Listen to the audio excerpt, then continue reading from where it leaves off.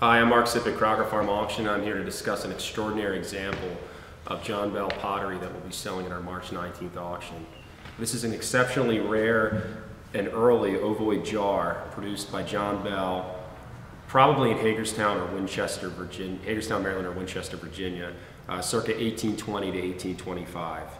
You can see it has this elegant ovoid form with a footed base this rounded shoulder molding is exceptionally rare. Uh, I, I, can't recall seeing that in his work before.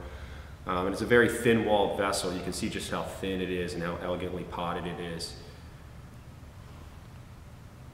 The most striking about the piece is its tin glaze.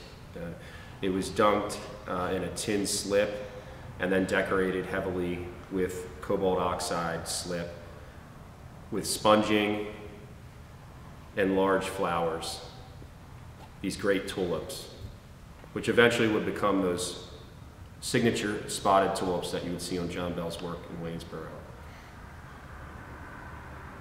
Now, after his tenure uh, in Hagerstown, after he traveled and worked at his father's shop uh, with his brothers in Winchester, he would travel to Chambersburg, Pennsylvania, and become familiar with the potter Jacob Hart, where he would learn a lot of molding techniques. And then after that, of course, he would establish his pottery uh, in Waynesboro in the 1830s that would last for the next uh, 65 years or so.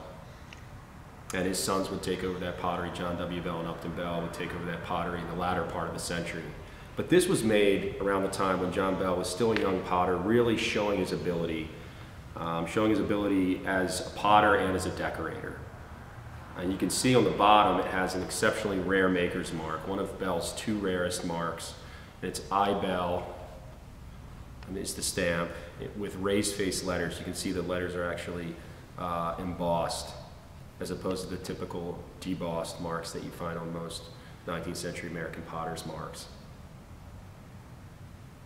And this mark is closely related to a mark that reads J. Bell in raised face letters, which you can find on John Bell's iconic inkstand that is in the collection of the Museum of the Shenandoah Valley. And that is dated um, I think around somewhere around 1825, might be 1824, 1826, somewhere in there. Um, and it has uh, a tin glaze very similar to this, same kind of treatment that you see on this jar. And this glaze is copying finer European ceramics, and that was something that John Bell always uh, sought to do, even in his later products, was copy finer English ceramics uh, or copy finer Bennington ceramics from uh, Vermont. And so you have uh, a potter who is really trying to push uh, the medium of backcountry earthenware uh, into something that was much more elegant, much more refined. Um, and so you have somebody really striving to take that work to its limits. Um, and that was, that was probably one of the things that, that most typified Bell's work was that he wasn't happy or complacent with just making standard products. Uh, later on, of course, he would make elaborately molded products, and he would use a more refined, almost yellowware type clay with sponging all over it. Um, and so this is an example of his early work, really pushing the envelope with what potters were doing with um, redware in the uh, first quarter of the 19th century. Um, you can see that the, the color is fantastic, the condition's exceptional for something that's almost 200 years old. It's really a striking piece.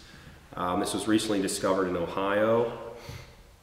Um, and uh, it's, it's important not only in its maker's mark and its form, but the glaze is fantastic, um, not only in a, in a, decorative sense or an aesthetic sense, but uh, Bell is known to have produced what is believed to be the earliest uh, tin glaze stoneware in America, at least the earliest dated tin glazed. And that's um, exemplified by the inkstand that is in the collection of the Museum of the Shenandoah Valley, as well as this piece. So we're very excited to offer this new discovery in our March 19th auction.